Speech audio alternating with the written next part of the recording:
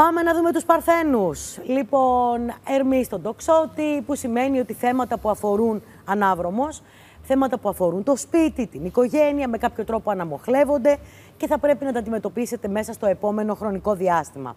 Ε, επειδή πολλοί Παρθένοι μέσα στην, όχι μόνο τώρα, αλλά και στην επόμενη χρονιά, θα μπείτε σε μια διαδικασία να δείτε σε σχέση με κάποιο ακίνητο τι μπορείτε να κάνετε, ή μια αλλαγή, μια αγοραπολισία, μια μετακόμιση.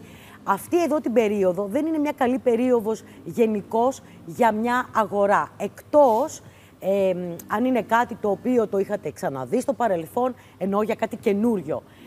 Ε, αν είναι κάτι καινούριο, προτιμήστε μετά τις 7 Δεκεμβρίου να το δείτε λίγο καλύτερα το πράγμα. Μην βιαστείτε δηλαδή, γιατί μπορεί με τον ανάβρομο Ερμή να μην δείτε κάποια πράγματα ε, και να τα δείτε όταν τελειώσει η ανάβρομη πορεία του και να μετανιώσετε ή να απογοητευτείτε. Γενικώς τόσο σημαντικές είτε αγορές είτε αποφάσεις για θέματα που αφορούν ακίνητα είναι προτιμότερο να τα δείτε μετά τις 7 Δεκεμβρίου. Την πρώτη εβδομάδα του Δεκεμβρίου, η γεννημένη μετά τις 17 Σεπτέμβρη, καλό είναι να είστε προσεκτικοί και σε θέματα που αφορούν επικοινωνία, μετακινήσεις, το μεταφορικό σας μέσο, ταξίδια. Μπορεί να υπάρχουν κάποια προβληματάκια εκεί ή κάποιες καθυστερήσεις.